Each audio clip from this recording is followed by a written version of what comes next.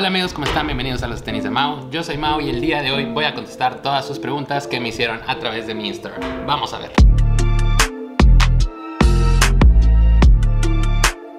Y bueno amigos, el día de hoy va a ser un poquito diferente. De hecho, como ven, estoy en el estudio, estoy acá afuera en mi patio. Eh, va a ser un video un poquito distinto. Eh, ya teníamos rato que no hacíamos un video de preguntas y respuestas. Entonces eso es lo que vamos a hacer hoy. De hecho, hace unos días les puse en mi Instagram una cajita para que dejaran sus preguntas de todo, de todo, de todo para poder contestarlas a través de este video. Entonces voy a seleccionar algunas de las preguntas y las voy a contestar aquí. Eh, entonces si te interesa, a lo mejor en otra siguiente iteración de este tipo de videos, eh, ven a seguir a mi Instagram porque normalmente esas dinámicas las hago por allá. Si es que quieres preguntar algo o lo que sea, normalmente lo hago de ese lado. Entonces bueno, vamos a empezar con las preguntas que tenemos para hoy. Max Solís pregunta, ¿qué sneaker crees que causará más hype este mes? Em, fíjate que es complicado, yo creo que todavía faltan muchos lanzamientos, pero ha habido muchos muy buenos en este mes de marzo. De primera instancia, sé del University Blue, del Jordan 1 University Blue, que era su última oportunidad de salir en este mes y ya salió y se agotó y hubo muchísima gente detrás de él. Tenemos también el lanzamiento de Bad Bunny con Adidas que va a suceder eh, en estos días también, que creo que muchísima gente va a ir detrás, creo que va a ser algo similar al Jordan 1 de J Balvin el año pasado, entonces esos también, vienen también los Jordan 4 University, que ahí creo que tiene un poquito menos, pero también tuvimos el lanzamiento de los GC 450, de hecho también eh, que mucha gente está esperándolos desde hace años por ser una silueta nueva. Entonces yo creo que entre esos tres podría ser como que el lanzamiento más hypeado de este mes de marzo. Jerry González 19 dice, ¿te gusta la silueta del Air Max 90? Sí, Jerry, de hecho sí. Este, yo la verdad no soy así el mayor fan de la tecnología de Air Max, eh, pero sí hay muchos modelos que me gustan mucho, entre ellos el Air Max 90 creo que es de mis favoritos. Tuve algunos, ahorita ya no tengo ninguno en mi colección, pero definitivamente son muy buenos. Y de hecho, este 26 de marzo en Air Max Day va a salir el Air Max 90 Bacon, que definitivamente es un sneaker que le estoy echando el ojo y quisiera conseguir. Dice Fran Ranch Punch, Mau, ¿crees que eh, los de Bad Bunny entren a mejores pares del año? Yo creo que la lista de mejores pares del año son, es bastante subjetiva. Eh, y es de individualmente de cada persona. Yo creo que yo, Mauricio, personalmente, sí van a estar en esa lista, ya que Bad Bunny es mi artista favorito, entonces muy probablemente sí va a estar en mi lista, pero yo sé que para algunos no. Hay gente inclusive que piensan que ese sneaker es feo, o simplemente por el hecho de que sea colaboración con Bad Bunny la gente no lo quiere.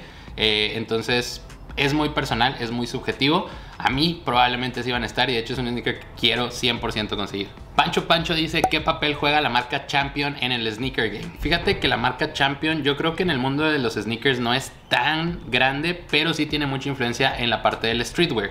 Champion tiene de hecho inclusive varios eh, sneakers de los cuales la verdad ninguno como que me ha llamado la atención ni nada por el estilo.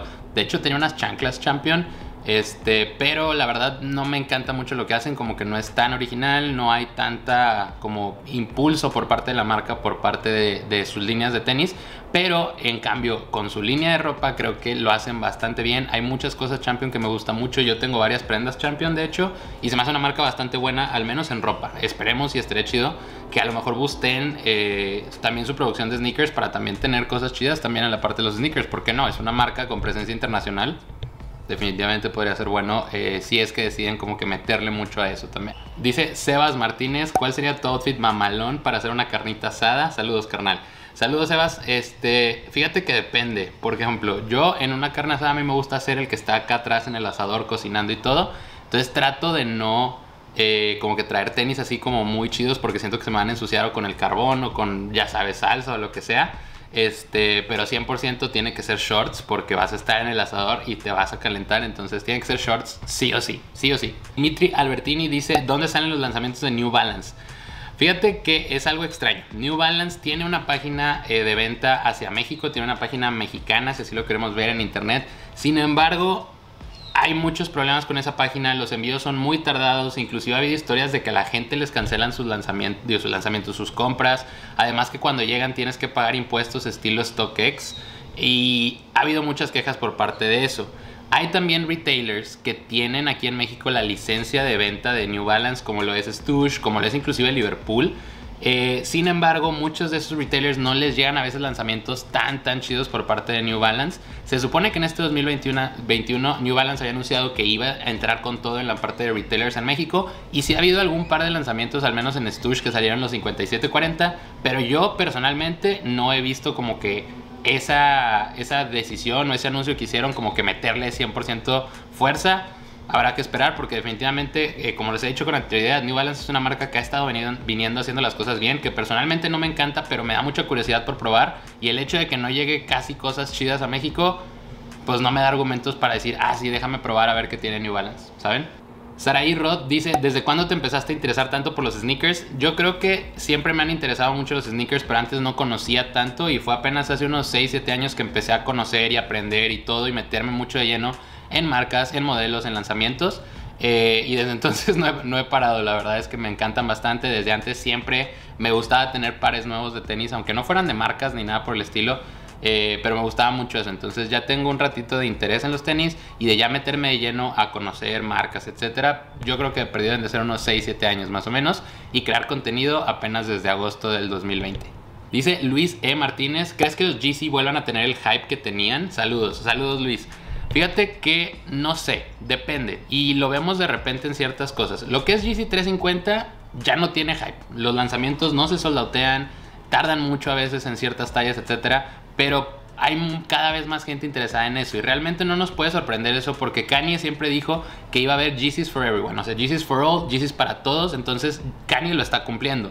En la idea de Kanye, al menos yo creo con los 350, nunca era tener como pares tan limitados. Al principio lo tenían que hacer así simplemente porque no había un lugar de producción, era apenas como la primera prueba de ver si lo hacemos o no. Y ahora que ha estado funcionando, Kanye siempre ha querido que el 350 se vuelva como un Air Force One, que tú en cualquier momento puedes ir a una tienda y comprarlo. Y yo creo que están en vías de hacer eso, pero últimamente, tarden o no, sí se siguen soldauteando los Yeezys. Entonces, igual, vemos cuando traen otros colorways, como lo fue el año pasado con el, el, el Bread y el Zebra, se acabaron. Salieron la silueta nueva del 450, se acabó. O sea, sigue habiendo mucha gente todavía detrás de Yeezy. Yeezy no está muerto, Yeezy está más vivo que nunca. Y todavía le queda mucho y está interesante a ver a dónde nos lleva eh, Kanye West con su marca y con su línea en cuanto a los diferentes sneakers que traiga. Eh, Diana Michelle me dice tips para ahorrar para sneakers. Eh, fíjate que he querido como que medio hacer un video al respecto pero no he puesto bien como mis diferentes ideas. Yo creo que el tip más grande que te puedo hacer es que guardes un dinero a, la semana, al mes o cada cuando sea que recibas dinero. Ya seas a lo mejor tus papás, tus abuelitos o quien sea te dan dinero, guarda una parte específicamente para eso. Si tú ya trabajas y recibes dinero, vamos a decir semanal, quincenal, mensualmente, guarda un espacio de dinero este, para empezar a ahorrar de que exclusivamente para eso, obviamente sin descuidar cosas que importan más, ¿no? Como comida, como educación, como todo ese tipo de cosas. Si ya tienes todo, todo eso cubierto, adelante, reserva tantito dinero eh, al te digo, al periodo de tiempo que lo recibas para ir juntando y de repente vas a poder juntar eh, dinero para poder comprar sneakers. Eso yo creo que es el mayor tip que te puedo dar, pero pendientes. Y si quieren saber un video como que más de todo eso, eh, déjenmelo saber acá abajo y les puedo platicar al menos cómo es que yo le hago.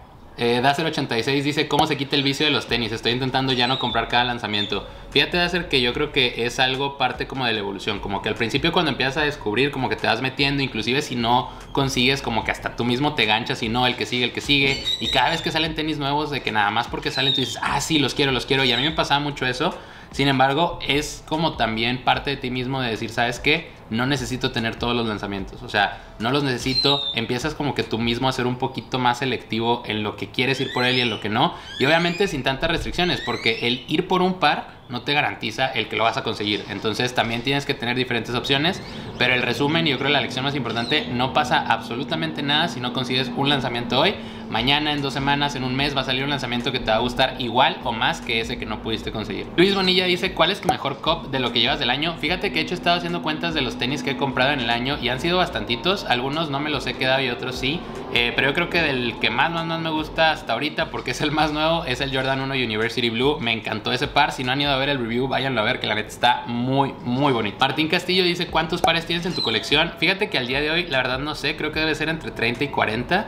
Eh, hice un video de mi colección a finales del año pasado, si es que lo quieren ir a ver, y voy a hacer otro a finales de este año como para ver cómo cambió eh, en un año. y realmente quiero como que tenerlo así cada año, no hacerlo de colecciones tan seguidos porque pues me gusta más como que más tiempo para ver esos cambios, ¿no?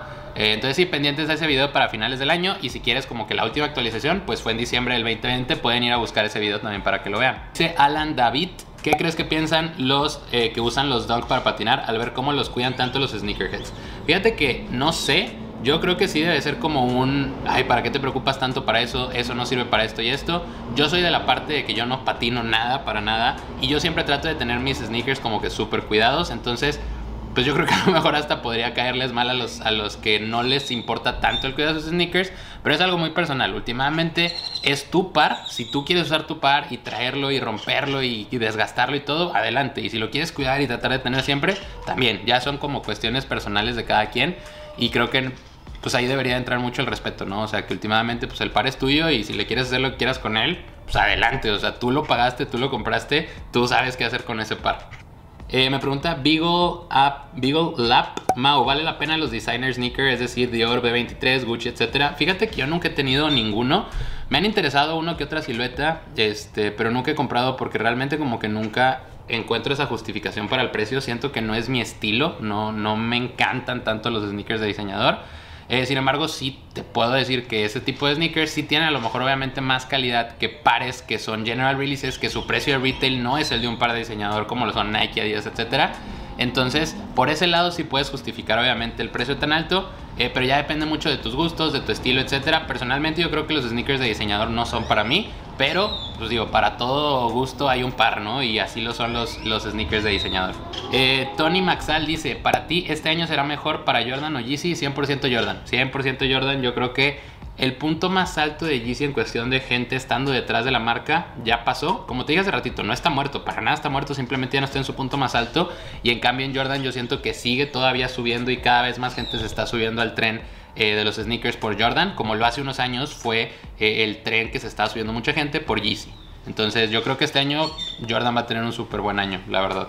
Eh, Luis Escobar dice, ¿cómo te ves con el cabello suelto? La verdad es que tengo el cabello chino, pero esponjoso. Es medio raro. Sí he grabado unos videos nada más con el cabello suelto, pero que nada más me pongo como una, eh, una bandita para el pelo. Pero últimamente traigo este look. Antes no tenía este look, antes era como que peinado de lado y más corto. No sé, la verdad mi pelo lo cambio de vez en cuando. Hace rato que no lo cambio. Eh, entonces probablemente lo cambie en algún momento. Vamos a cerrar ya con esta pregunta de parte de Pump Adal que dice ¿qué páginas recomiendas aparte de Nike Sneakers?